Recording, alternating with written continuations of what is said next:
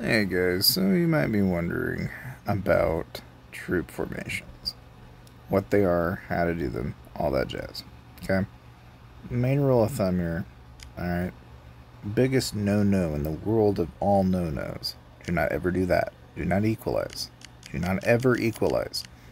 I I wanna I, I just I, I I hate and I mean hate when people do that. Because you do not want lower tier troops Whenever you're joining, whenever you're attacking, whenever you're defending, it just generally never, ever, should ever, ever, ever, ever happen. Okay? You do not want your low tier troops. Okay? Bad idea. Next problem. How many should you have? Typically, almost everybody who has no clue as to what they're doing should probably do an even blend.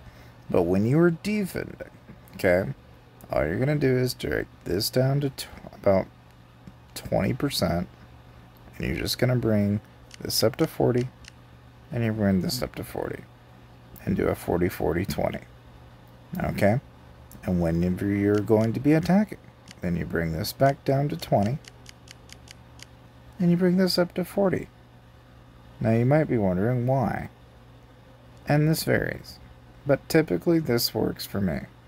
And I've done this for quite some time and I've never had a whole lot of trouble with it but the mindset of this is, is that typically what will end up happening when you're attacking is you're going to run through infantry and marksmen faster.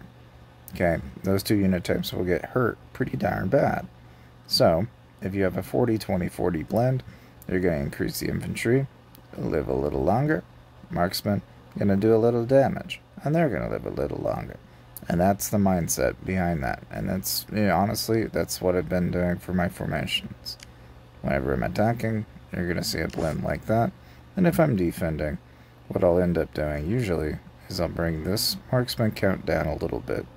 And then I'll bring up my lancer count if I can afford it. Now, sometimes I'm not as liberal with my lancers. I may bring it down another 10% and go up 50 and do a 50 30 20 and that's if I think I'm really struggling and I'm going to be running low on infantry. I, I might do it 50, 30, 20 just for that alone. Okay, but by no means should you ever dip below 40% infantry. I generally don't like doing that. It very rarely ever really works out. I mean, when you're doing equal blends, it's okay, but even then, you'll tend to find that it tends to work out better if you have a better front line. And having more infantry ultimately will do you a lot more benefit in the long run. Um, now, as far as saving it goes, say like you're doing a lot of 40 20 40s, for example. Maybe that's your thing. Well, you can obviously check this box if you'd like to make it the default, right? And then, well, it'll be the default, and you can hit confirm. But let's say you've got a set of heroes now that you're like, you know, I'm going to use this every time.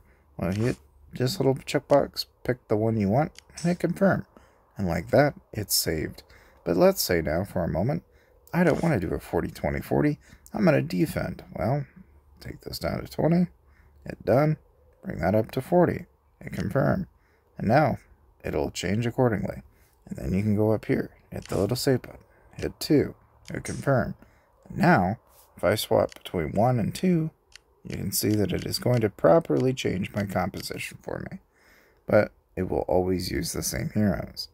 Downside risk to that and you could always take them out, for example, but then the you know the rest of it is going to be off, right? But your balance is always going to be right, and then you can just throw in your new heroes as you go along, which you prefer is up to you.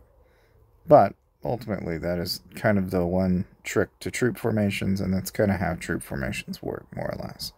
Now, the nitty gritty of like joining rallies, defending, attacking, knowing what composition to use and how it's still kind of a made up science in a sense.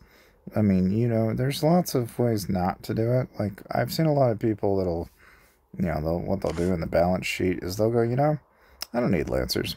I just need Marksmen. And they blast it. you know, and you could do it 40 60, right? You could just say, you know what, I don't need Lancers, right? But that just means you're not going to do any damage to their Marksmen. That seems silly when you're attacking. Now, in some instances, this might make sense.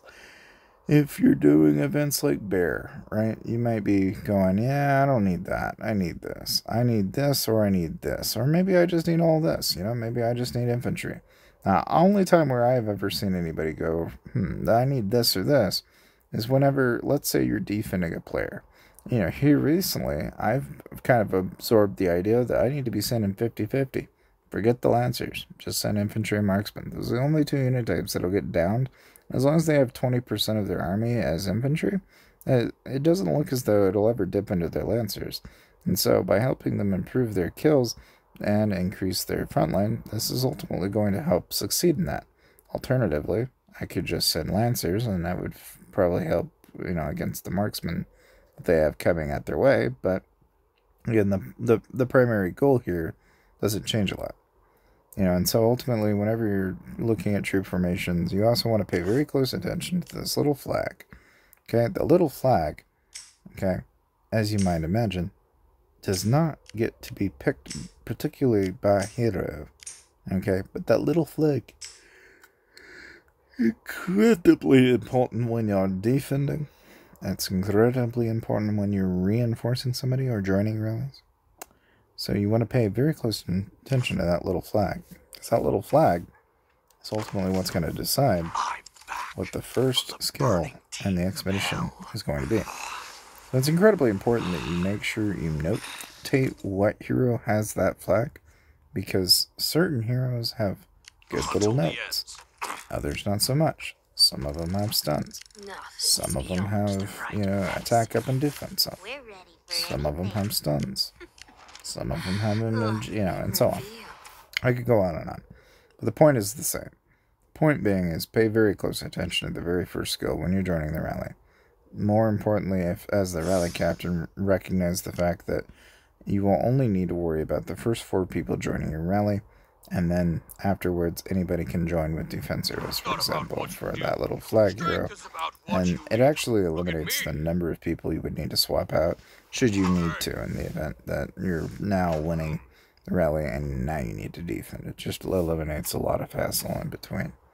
And again, with those troop formations and those compositions in mind, you should be relatively successful in your endeavors.